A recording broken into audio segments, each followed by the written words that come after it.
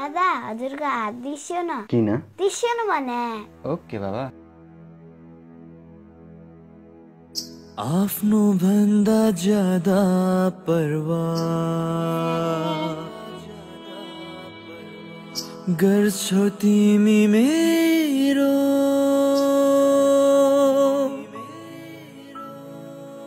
त्यसैले त जिन्दगानी चलिरहेछ मेरो। ह्याप्पी रक्षाबन्धन। मेरो सुखमा मेरो दुःखमा मेरो हाँसोमा मेरो रुवाइमा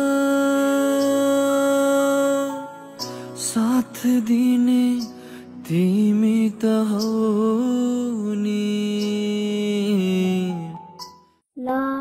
किन रोइसेको हुन त आँसु पुस्ने बहिनी छ भनेर होला त रोएको। हर दाजुले